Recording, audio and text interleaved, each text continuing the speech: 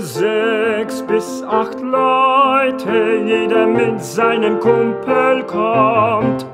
dann kann der sich natürlich jeweils mit seinem Kumpel, der seine Bezugsperson ist, an einen Tisch setzen und mit 1,50 Abstand sitzt der nächste Kumpel mit seinem Kumpel,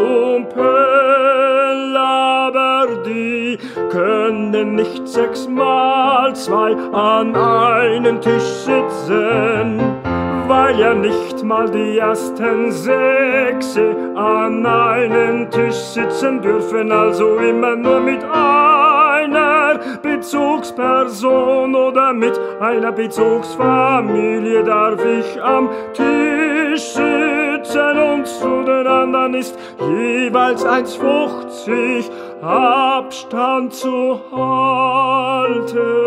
Das Beispiel ginge nur, wenn der Tisch irgendwo 15 Meter lang ist und dann im Abstand von 1,50 immer die Pärchen gegenüber sitzen.